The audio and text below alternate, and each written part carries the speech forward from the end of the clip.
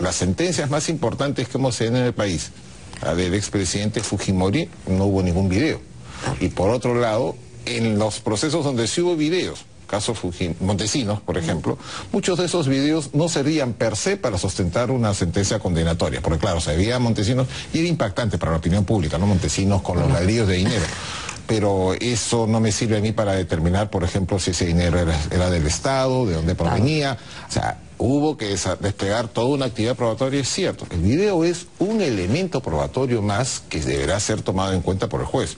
O sea, por eso, como Si no nosotros hemos- aparece el video, como nosotros hemos dicho, nosotros no tenemos ninguna preocupación porque aparezca o no aparezca el video. Nosotros nos estamos preocupando por la actividad probatoria y este lo- el fiscal, el fiscal de la Nación ha dicho que el video existe, ya ha lanzado un tuit pidiendo que por favor la persona que lo tiene lo entregue, que va a ser protegida. Ustedes tienen la misma teoría, que el video existe. Sí, por alguna de las versiones que se han recibido hay un inf- habría información de que en efecto el video existe, hay algunas personas que señalan que incluso lo han visto, pero este, lo que también se indica es que las personas que tendrían ese video tienen mucho temor. Mucho ¿cierto? temor. Mucho temor porque aparentemente también habrían sido ya identificadas.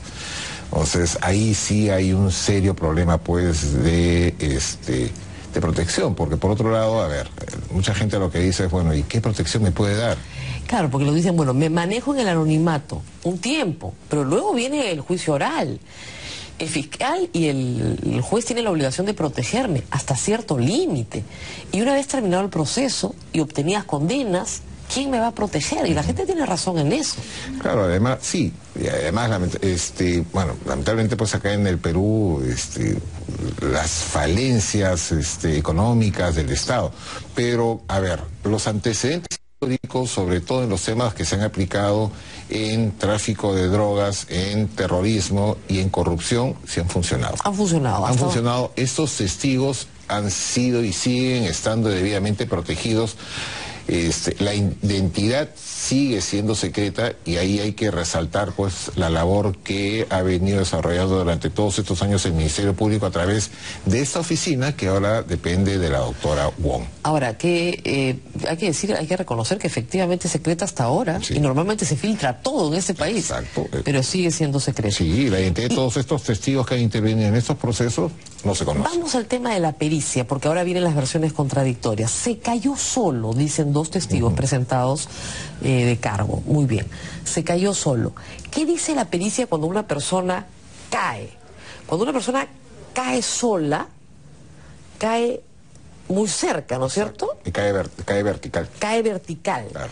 y cae muy cerca. Él cayó hay un ángulo de la caída y cae más bien pegado al muro de la, La tribuna. O sea, y ahí se ve claramente, pues, o sea, aquí termina, este, aquí está la pared, aquí el muro, él cae aquí. Hay un ángulo de caída. Pero además, a ver, las versiones de estos testigos tampoco coinciden con la declaración de los procesados. Vamos a ir un instante, pero el tema de la pericia me parece muy importante porque, digamos, cuando una persona cae por su propia fuerza, cae a plomo con la pared. Exacto. ¿No es cierto? Porque se va hacia abajo, trata de agarrar, se va hacia abajo. y hay alguna este, reacción tratando, como se moviese, de agarrarse o tratando desesperadamente de este, Amortiguar la caída. amortiguar la caída. Cuando alguien es empujado, hay una fuerza que le da un ángulo a la Exacto. caída.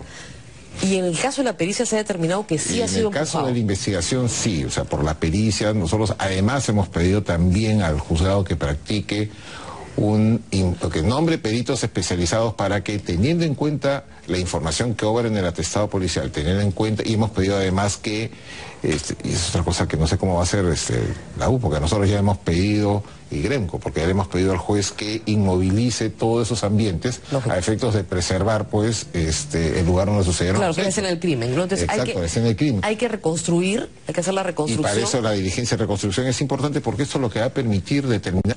el señor David Sánchez Manrique, alias Loco David, y José Luis Roque Alejos, alias Cholo Payet, señalaron los dos de manera consistente que el culpable era el negro Empilio. Nosotros vamos a hacer una pausa y regresamos con más información. Volvemos.